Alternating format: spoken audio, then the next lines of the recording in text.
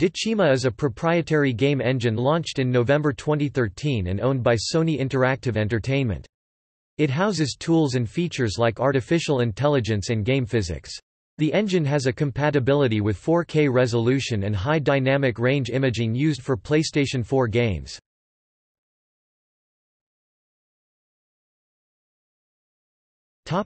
History The engine is used for the first game Killzone Shadow Fall. In June 2015, Guerrilla Games announced that Horizon Zero Dawn was using the engine for development. In August 2015, Until Dawn was announced to be using the engine along with Havok Physics. In December 2015, Until Dawn, Rush of Blood is used along with PlayStation VR. In June 2016, Hideo Kojima announced preparation for Kojima Productions' independent game Death Stranding, inspecting two engine candidates, of which the latter had been used to create the first teaser that was unveiled at the Electronic Entertainment Expo 2016 conference.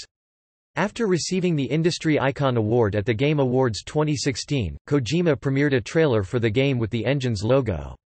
At PlayStation Experience, Kojima had announced that he had partnered with Guerrilla Games, using the engine for development, and had been given the source code with no contractual obligation.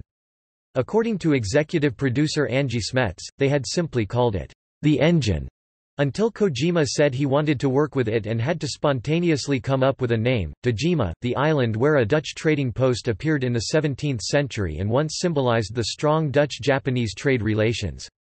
For a long time, the Netherlands was the only foreign country allowed to trade with Japan.